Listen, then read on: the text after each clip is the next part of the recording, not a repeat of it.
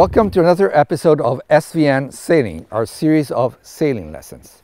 Today we want to talk about how to moor stern to, that is Mediterranean mooring, but using an anchor. To shoot this video we came to our usual spot, Marina Cala dei Sardi in the northeast of Sardinia. As some of you may know, this is the home base of NSS Charter, the largest uh, charter company in Italy. And we come here because they are the ones who make available uh, the boats with which we shoot our videos. So without further ado, let's go see how to moor stern to using an anchor.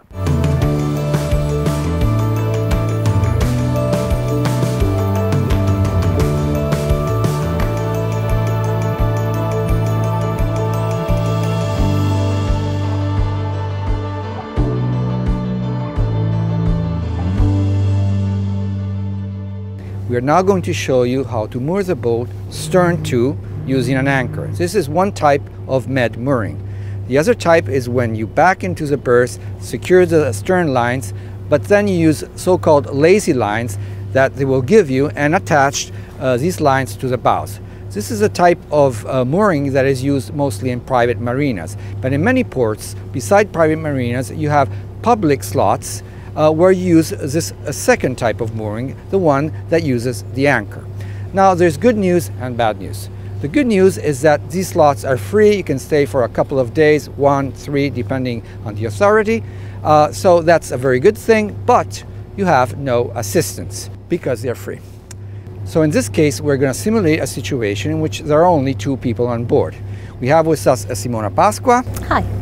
And Andri. Now, Simona Pasqua is a skipper with uh, NSS Charter. Yes.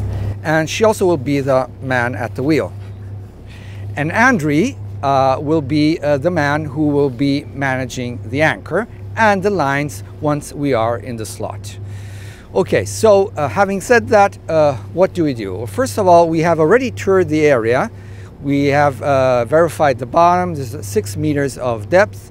And we have also looked at how the chains are laid out from the other boats. And in this case, they are straight in front of the boats. So we have to do the same because we, what we want to do is avoid uh, dropping our uh, anchor above somebody else's chain because that of course leads to countless problems. If we have a choice and there's lots of wind, it's best to drop your anchor a little bit on the windward side because that will help you uh, when you do the maneuver. Also, what do we do when we prepare the boat? Well, first of all, the fenders, we use all the fenders. If you have an extra fender, we place it on the windward side, and in this case, it would be the starboard side. Then we prepare the lines. We have uh, secured the lines to the cleat. They go outside uh, the rail and then back into the boat. And Simona has coiled them very nicely and prepared them so we are ready to take them ashore. In this case, uh, there's an excellent uh, spot where she has hung the line and this will be our windward line. This is the line that you will be uh, securing first. Also, when do we start turning and how much chain do we uh, let out? First, uh, uh, the second question this case, the bottom is six meters. There's a rule in Italy that uh, you have to let out from three to five times uh, the depth. In England, strangely enough, it's four to six times.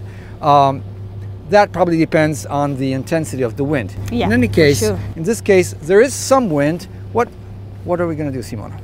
Um, in this case, as the wind is roughly 10 knots, uh, I will lay out uh, at least five times the depth. Okay. So uh, extra tip, make sure you know how much anchor you have. That may be obvious in some cases, but if you have chartered a boat, then you may not really know. And if there's not enough anchor, you will come to a sudden stop and even risk breaking the windlass. Having said that, as you see, uh, Simona is starting to turn the boat. She has turned the boat when the bows was more or less in line with the bows of the catamaran. Okay, once she has aligned the boat uh, with our slot, she's gonna stop the boat and then tell Andy to actually start Go. lowering the anchor. She has given the command and she has reversed the gear and the boat will start moving backwards. We're a little bit on the uh, leeward side, but Simona is uh, going to direct the boat in the right direction and make sure we are aligned with the berth. You can see how Simona has placed herself. She has placed herself sideways. In this way, she can look at the berth as we're backing into it, but at the same time, she can look at Andy and communicate with him. They're uh, calling the signals, but also that you're using hand signals they have agreed upon. That can be very useful because sometimes you don't hear very well what the other person is saying, and this way you make sure there is no misunderstanding.